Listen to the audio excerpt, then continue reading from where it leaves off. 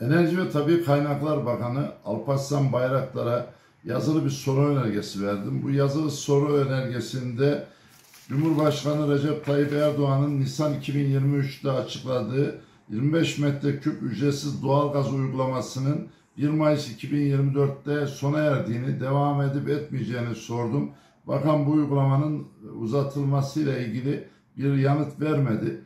Türkiye genelinde toplam 856 yerleşim yerine doğal gaz arzı sağlandığını, bu yerleşim yerlerinin 765'i ilçe ve 91'i belde olarak bakan tarafından ifade edildi. Ülkemizde toplam 973 ilçe ve 390 belde bulunmasına rağmen hala 210 ilçe ve 299 beldeye doğal gaz arzı sağlanamamış bulunuyor.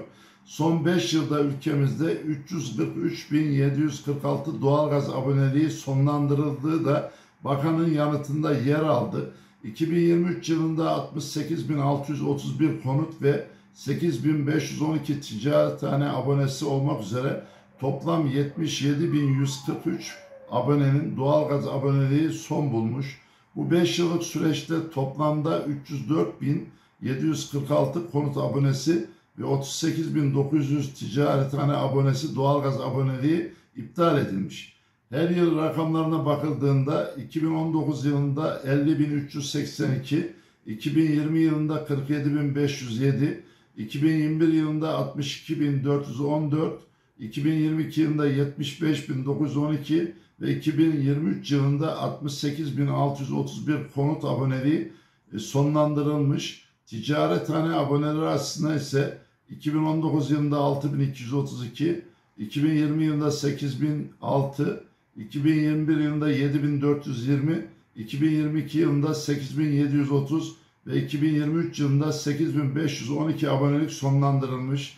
Ayrıca bakana sorun önergemde e, ücretsiz doğalgaz dağıtımının devam edip etmeyeceğini ve toplam bu konudaki tutarı sordum. Yaralanan abone miktarının açıklanmasını istedim. Doğalgazda yapılacak zam durumu ile ilgili bilgi vermesini e, talep ettim. İbadethanelere ücretsiz olarak doğalgaz sağlanıp sağlanmayacağı ve borç nedeniyle aboneliği sonlandırılan abone sayısı gibi konuların şeffaf bir şekilde yanıtlanmasını istememe rağmen bu konularda bakan yanıt vermekten kaçındı. Doğalgazla ilgili e, ücretsiz doğalgaz sürecinin bundan sonra devam edip etmeyeceği konusuna da açıklık getirmedi. Doğalgazdaki abone sayısının iptalleri önemli ölçüde ödeme güçlüğü içine düşen ekonomik krizin de başladığı süreçten bugüne getirdiği sorunlardan kaynaklandığı açık. Bu anlamda farklı ısınma yöntemlerine yurttaşlar yönelmek durumunda kaldığı görülüyor.